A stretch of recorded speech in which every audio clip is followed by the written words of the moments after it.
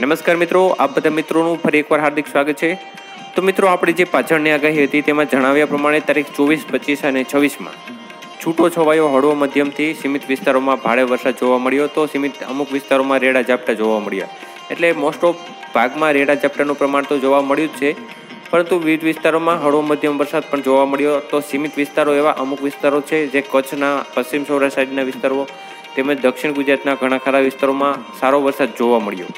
તો હવે આપણી આગાહી પૂરી થઈ રહી છે. તો આજથી સિત્તાવીસ તારીખથી બે તારીખ સુધીની નવી આગાહી આપી રહીએ છીએ. તો આગાહીમાં સંપૂર્ણ માહિતી જાણતા પહેલાં જે પણ મિત્રો ચેનલમાં નવા હોય, તે ચેનલને સબસ્ક્રાઈબ કરી લેજો, જેથી કરીને આપણી જે વરસાદની અપડેટ આવતી હોય છે, તે તમારા સુધી રેગ્યુલર પહોંચી રહે. તો હવે વાત કરીએ તારીખ સિત્તાવીસથી બે તારીખ સુધીની આગાહીની. તો આપણે સિત્તાવીસ તારીખ આજનો દિવસ દરમિયાન હજી પણ થંડરસ્ટોમ એક્ટિવિટીમાં થોડો એવો વધારો જોવા મળશે. જોકે જે ચોવીસ, પચીસ અને છવ્વીસ તારીખમાં થંડરસ્ટોમ એક્ટિવિટી જોવા મળી, તેના કરતાં વિસ્તાર ઓછો રહી શકે છે. પરંતુ આજનો દિવસ દરમિયાન હજી થંડરસ્ટોમ એક્ટિવિટી જોવા મળશે. તો જે પ્રમાણે જોવા મળ્યું કે ઉત્તર ગુજરાતના અમુક ભાગોને જ ફાયદો કરાવ્યો સીમિત વિસ્તારોમાં ફાયદો થયો. જ્યારે સૌરાષ્ટ્રના જે દક્ષિણ સૌરાષ્ટ્રના વિસ્તારો છે, પણ આ સિસ્ટમથી ખાસ એવો ફાયદો કરાવી શકે નહીં. પરંતુ હવે જે આ આગાહીના દિવસો છે, તેમાં ખાસ એવો કોઈ વરસાદની શક્યતાઓ રહેલી નથી. છૂટાછવાયા વિસ્તારોમાં રેડા ઝાપટાથી હળવો વરસાદ અને એકલ દોકલ વિસ્તારોમાં મધ્યમ વરસાદ પડી જાય.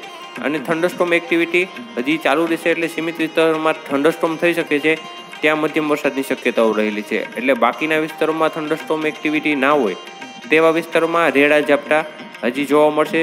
તો તારીખ ત્રીસથી વાતાવરણમાં એકંદરે ફરીથી થોડો એવો સુધારો થતો જોવા મળશે, જેને કારણે રેડા ઝાપટાનું પ્રમાણ તારીખ ત્રીસ આસપાસ વધી શકે છે. અને અમે એક આગોતરું એંધાણ પણ આપી રહ્યા છીએ. તો તારીખ સિત્તાવીસ અઠ્ઠાવીસ, ઓગણત્રીસ, ત્રીસ. આ તારીખ દરમિયાન જે સિસ્ટમ છે, જે અરબી સમુદ્રમાં સક્રિય છે, તેના ભેજયુક્ત પવનો હજી પણ સૌરાષ્ટ્ર પરથી અને ગુજરાત પરથી પસાર થઈ રહ્યા છે. જેના લીધે જે ગુજરાતના ભાગો છે, ત્યાં રેડા ઝાપટાનું પ્રમાણ હજી પણ જોવા મળી શકે છે.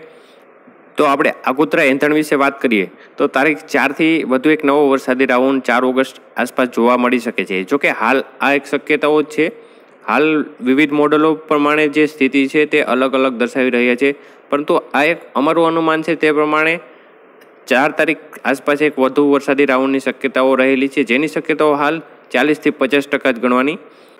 તો મિત્રો આપણે જે આગાહી આપતા હોય છે તે મોડેલ આધારિત અનુમાન હોય છે અને વિવિધ મોડેલોના અભ્યાસ પરથી એક નિચોડ કાઢેલો હોય છે અને તેના આધારે આગાહી આપતા હોય છે. એટલે આમાં ફેરફારને અવકાશ રહેલો હોય છે. તો થોડો ઘણો ફેરફાર સંભવ પણ રહેલો હોય છે, જેને લીધે વધુ માહિતી માટે હવામાન ખાતાની આગાહી પર નિર્ભર રહેવું